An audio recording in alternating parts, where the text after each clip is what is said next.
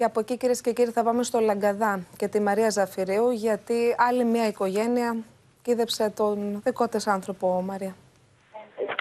Πρόκειται για την 32χρονη Σοφία Ελένη Ταχματζίδου, η οποία έχασε τη ζωή της σε αυτό το τραγικό δυστύχημα. Είμαστε στο κολχικό του Δήμου Λαγκαδά, σε ένα χωριό που πενθεί. Πλήθος κόσμου την οδήγησε στην τελευταία της κατοικία. Οι γονείς της, τα αδέλφια της ήταν εδώ ντυμένοι στα μαύρα φυσικά όλοι και με λευκά λουλούδια στα χέρια. Θα πρέπει να σας πω ότι τα πρώτα 24 ώρα η οικογένεια της Σοφίας Ταχμαντίδου την αναζητούσε στα social media γιατί δεν ήξεραν κάτι για την τύχη της. Να σημειώσουμε ότι είναι ανιψιά του Δημάρχου Λαγκαδά του Ιωάννη Ταχμαντίδου. Κουράγιο στην οικογένεια και σε όλες τις οικογένειες που θρυνούν. Σε ευχαριστούμε Μαρία.